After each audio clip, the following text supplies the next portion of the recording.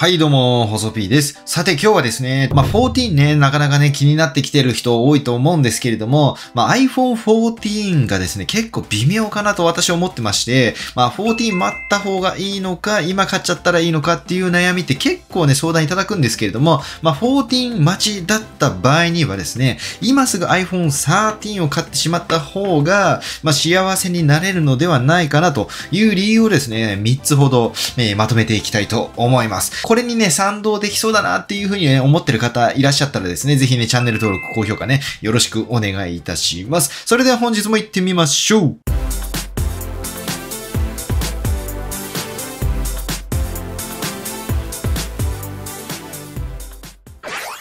細 P チャンネル。はい。ということで、まあ、新作の iPhone に期待することってね、たくさんね、もちろんあるんですけれども、まあ、今回の今のこのタイミングっていうのと、あとはスマホ関連の、まあ、性能とかっていうところに関しては成熟してきてますので、まあ、驚くような進化っていうものが、まあ、もう出にくいと。まあ、こういう状況になっている、この時代背景においては、まあ、待つよりも今すぐ買ってしまったっていう方が、まあ、幸せになれるのかなというふうにね、思っているわけなんですけれども、理由ちょっと一つ一つ見てみましょう。三つありますので、まずは一つ目ですね。えー大きなスペックアップがなさそうだというところが、まあ、一つ目の理由になっております。iPhone 13と、まあ、iPhone 14の、まあ、スペックの差、性能の差というところをね、まあ、まだ出てませんから、あくまでもリーク情報とか、あの、まあ、印象的なところで思っていることをまとめていくわけなんですけれども、iPhone 14がですね、カメラが4個ぐらいになっちゃうとか、あの、別の全くこう、今まで出てきてこなかったような、なんかレンズを搭載するとかね、えーそういったことって考えにくいわけじゃないですか。基本的には6.1インチの大きさだし、まあ、カメラもおそらく、まあ、プロシリーズとの兼ね合いがありますから、まあ、こういった二眼構成になることがま予想されております。リーク情報を見てもそうですよね。ただ、ま、センサーサイズがま大きくなって、カメラ画質が13よりも、ま、より綺麗なものが撮れるようになったり、動画にしても静止画にしても、まあそういうね、機能アップというのはもちろんあり得ますけれども、まあただですね、使い勝手がもう全然変わってしまうよっていうことっていうのは、まあこれはあり得ないと思いますので、まあそういったところを考えてもですね、今買ってしまった方が、まあとりあえず今買えば、まあ今すぐ新しいね、iPhone に切り替わって iPhone 13を堪能していくことができますから、まあ少なくとも iPhone 14を待つってなればですね、まあ今もう6月にね、入ろうとしてますけどけれども、6、7、8、9、4ヶ月間待たなきゃいけない、我慢しなきゃいけないっていうところがね、ありますからね、えーそういった状況であればですね、あの、大きなスペックアップが、あの、期待できそうにない、13と14の差っていうところを考えると、普段使いにおいてはね、まあ、ほぼ変わらないかなというところ、まあ、これは本当に出てみないと何とも言えないけれども、まあ、今時点のリーク情報等を考えみると、まあ、そんな感じかなというところですかね。はい。ということで、これがまあ、一つ目の理由ということになります。はい。では次、二つ目の理由ですね。二つ目の理由もですね、ちょっとまあ、スペック的なところの似てきちゃうんですけれども、まあ、デザインの変化が乏しいというのが二つ目でございます。で、今回の14の、まあ、リーク情報を見てもですね、この13シリーズと同じような、まあ、角張ったボディですね。はい。こういった特徴になることが予想されております。まあ、ここからまたね、丸っこいね、デザインに変わるとか、まあ、そういったところも、まあ、ちょっとなさそうだしね。で、まあ、私個人としてはこの角張ったボディ大好きなので、まあ、全然大歓迎なんですけれども、まあ、14なのか13なのか、パッと見で、まあ、色味の違いとかっていうのはもちろんね、出してくるでしょうけれども、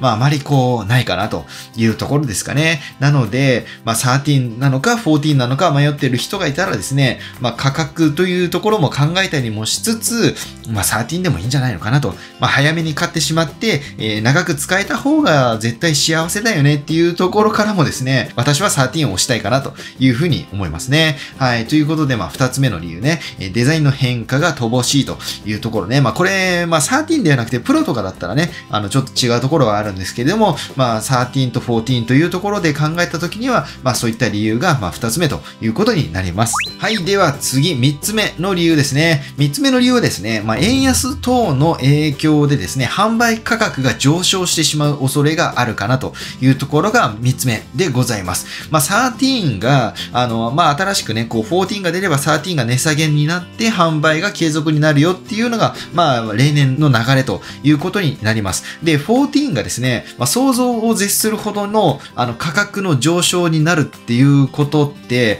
まあ、これも結構あり得るのかな。で、ここ最近出ている Android のスマートフォンが、まあ、軒並みですね、円安の影響をもろに受けて、例えば高級な Android 路線で言うとですね、まあ、Xperia 1 Mark IV とか、あの19万とかね、で、Galaxy とかも17万とか結構な高額になってきてますよね。まあ、半導体不足だとか、円安の影響とかっていうところが、まあ、もろに受けてですね、まあ、そういった形で販売価格に反映されてしまっているということになります。で、あの iPhone ももちろんですね、その影響を受けてくるのかな今のままいけばですね、円安が、ま、結構進んでますから、今のまま進んでいくよっていうことになればですね、まあ、間違いなく値上げといういうことになるでしょう。まあ、値上げというか、まあ、値上げプラス円相場の影響で、まあ、ダブルパンチでものすごく上がってしまう。今の iPhone 13よりも、例えば1万5000円ぐらい販売価格が上がってしまうとか、そういったことも考えられますよね。あとは、まあ、値下がりすると思っていた iPhone 13が同じ金額で売られるとかね。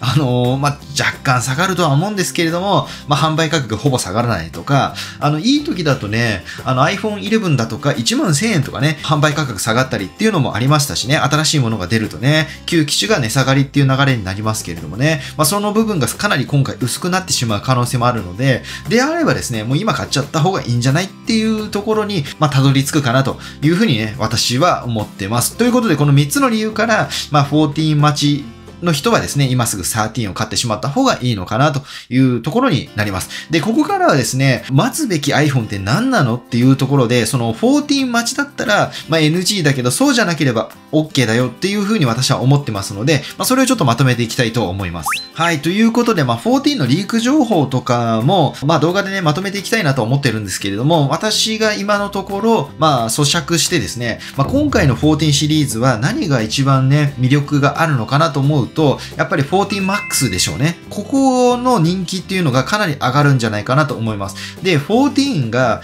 まあ、そんなにこう人気が出ないというかね、ちょっと微妙かな。14だったら13の方がいいんじゃないってなって、14の売り行きが、あの、そんなにこう、こけてしまうってことはないんでしょうけれども、今までの歴代の iPhone に、まあ、比較してみるとですね、ちょっといまいちかなっていうような状況になりそうな気がします。で、14MAX っていうのは、あの、標準モデルでボディサイズだけ大きい6.7インチのものというのが、あの、今回人気を集めそうかなと。で、今、大画面モデルがどんどん好まれる傾向にあってですね、まあ、国内でもね、あの、安ければ買いたいなっていう人いっぱいいると思うんですけれども、大きな6.7インチの iPhone って、Pro Max だけなんですよ。で、プロマックスめちゃくちゃ高いんで、で、カメラもそんなに高性能なものいらないし、とにかくディスプレイが大きいのがいいよっていう人は、まあ、標準モデルの大きいものが出てくれないかなとか、例えば廉価版のですね、大きい iPhone ね、iPhone8 プラスをベースにしている、まあ、5.5インチディスプレイサイズの大きいやつね、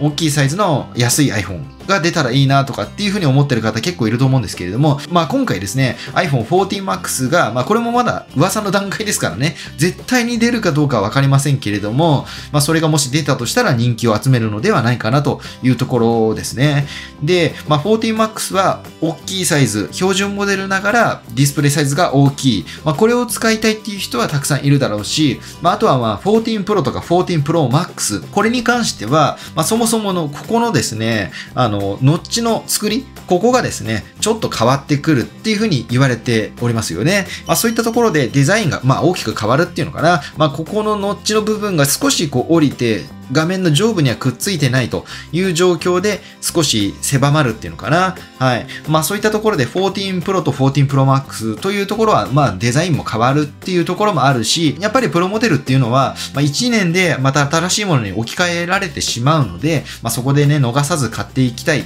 買いたいという人は多いと思うんですけれども、まあ14はですね、今のこの13とね、まあこのノッチの作りなんかも、一応リーク情報を見る限りだと、まあ全く変わらず、。で、しかも価格が上がってしまう可能性もあるし、まあ、チップもですね、A16 チップって名前は呼ばれるかもしれないけれども、まあ、実際には A15 チップと変わらないものが積まれてしまうとかっていう噂もありつつね、あんまりこのね、14というところに関して、こう、心弾むようなニュースっていうのが今のところないのでね、ないので、うーん、待つんだったら買っちゃった方がいいのかなっていうところね、あとはあの、あの読めないところは円安とかの影影響を、ま、考慮した販売価格の見直しっていうのを Apple がいつか急にやってくる可能性もあるし、やらない可能性もあるしっていうところが未知数。で、待って待ってってやっといて、結局価格上がっちゃったと。直前になって円安の影響で販売価格がそもそも上がっちゃったってなれば、ものすごくね、後悔してしまう人も多いでしょうからね。はい、そんなところからですね、まあ、今回、まあ、14を狙うんであればね、14 Max もしくは14 Pro シリーズね、プロかプロマックス。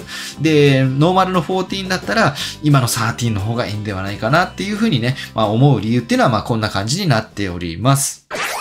細 P チャンネル。はい。ということで本日はね、iPhone 14の話を絡めつつですね、今すぐ13を買った方がいい理由というところで、まあまとめてみたんですけれども、いかがだったでしょうかね。まあ、今回このノーマルの標準モデルの14というところね、まあ、今までずっとそうだったんですけれども、12だったら12押すし、え13押すしっていうところで、うちのチャンネルでもね、そのようにやってきたんですけれども、14だけはちょっとどうなるかわかんないかな。あの、微妙になる可能性もある。あの、ダメな機種っていうかね、あんまりこう、販売シェアが伸び伸びないような機種が一つあればそこにこう注目が集まるんですけれども、今回の14シリーズかなりね、いいものだけを売るみたいな感じになってくるような気がしてですね、まあ14ミニがあればね、ミニが一番売れなかったのかなと思うんですけれども、まあ14と14 Max っていうね、大きいサイズの標準モデル、少し価格が抑えているにもかかわらず画面は大きいよっていうものが出る。これはね、日本国内でもね、かなり魅力的に感じる人は多いと思いますからね、